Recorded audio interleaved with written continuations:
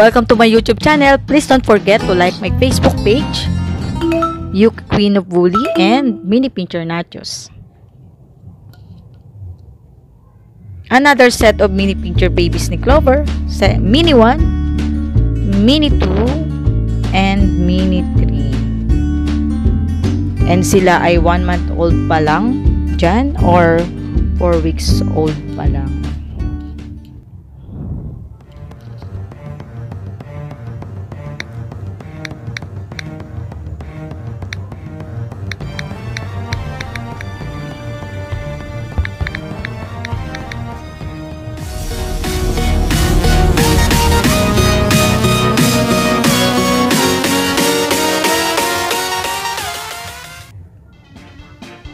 Ayan po yung pinaka playtime nila para makapag-exercise and nakakatakbo na din yung mga mini puppies namin.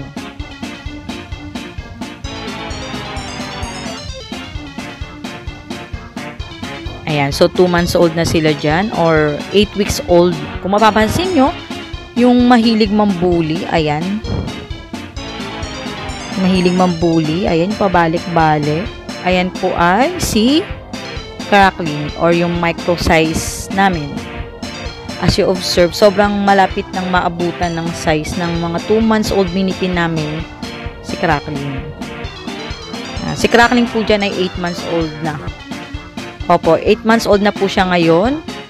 And magna 9 months na siya this coming January 8. Baka by next month, magkasing laki na sila. So, i-update po namin kayo kaya, please don't forget to subscribe my YouTube channel and pa-click yung notification bell para like yung updated sa mga i-upload po namin na mga videos about sa mga mini pin namin. And yung kasama po nilang malaki yan po si Clover, yung adult size namin. Ayan. Kung mapapansin nyo, uh, half size po talaga. Kung makita nyo sa personal, half size lang po talaga ni Clover si Crackling. Pero si Crackling hindi na po talaga siya lalaki.